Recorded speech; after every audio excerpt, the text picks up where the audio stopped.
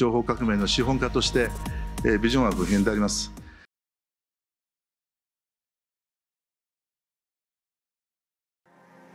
あのただいまご紹介いただきました後藤でございます。本日はよろしくお願いいたします。最重要の財務指標のところからスタートしたいと思います。ネットアセットバリュー約14兆円、それから負債の安全性を見るですね、ローントゥーバリュー、こちらは18%。非常に安全性が高い状況だということです。また最もですね、えー、短期的に、我々の安全性を断面で見るのは手元流動性となります。3.8兆円と非常に安定したレベルでございます。この重要指標のですね、現状を踏まえた上で守りは盤石です。今後積極的な攻めの投資の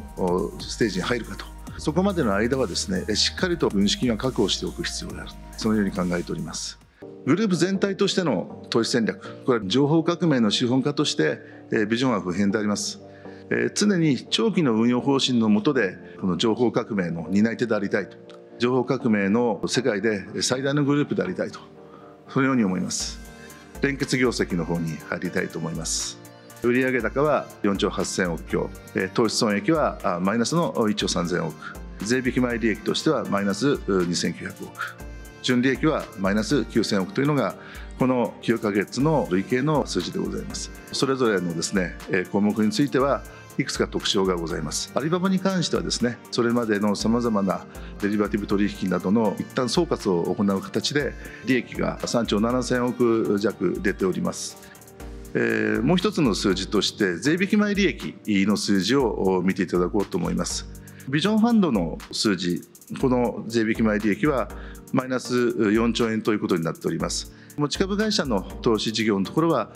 先ほどご説明申し上げたアリババのプラスがそのままこちらに入ってきております。まあ、ソフトバンク、それからアームと堅調です。ソフトバンクビジョンファンドの現状について少しお話をしたいと思います。この3か月間でマイナス5000億強というところで引き続きロスではございます。グラフを見ていただくと先期の第4クォーターですね。それから今期の第1クォーターこの2つの期が非常に厳しい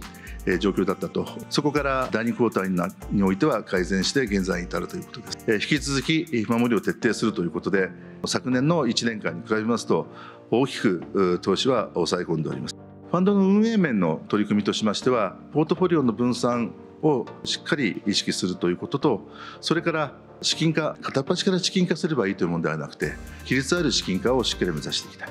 資本の再分配これも重要だと。現在37ビリオン超がレートステージに当たると思います。これらはですねさまざまな投資先の中でも IPO に近い立ち位置にいる企業群であろうと考えております。これから1年2年環境を改善するとともにですねこういった企業群の IPO にま期待していきたいというふうに考えております。ビジョンファンドがあの左のドライバーとしますと右のドライバーがこのアームということになります。この半導体市場そのものがですねこの20年30年大きく変わってきたと思います。特に昨今ですね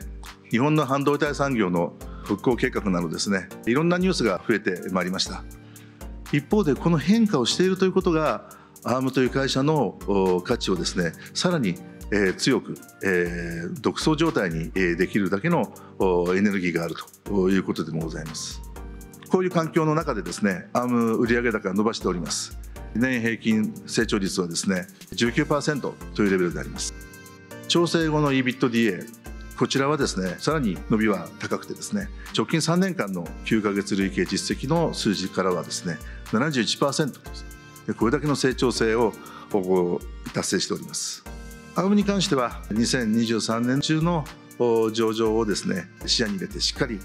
準備を進めております。最後に財務戦略については不変であります。従来通り財務方針を堅持する中で投資を考えていく。ですから投資が先行して財務規律を守らないということにはいたしません。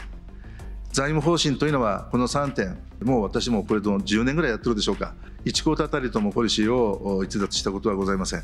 ローンというバリューは25%未満。また現預金は2年分配当収入も意識します。自社株買いも、えー、昨年からですね1兆4000億実現いたしました。自社株買いというのは最も重要なテーマの一つとして常に議論しているテーマでございます。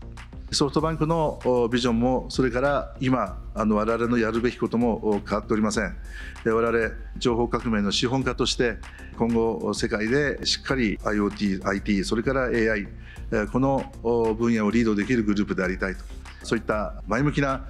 新しいチャレンジの話ができるタイミングが早く来るように私も期待しているところでございます。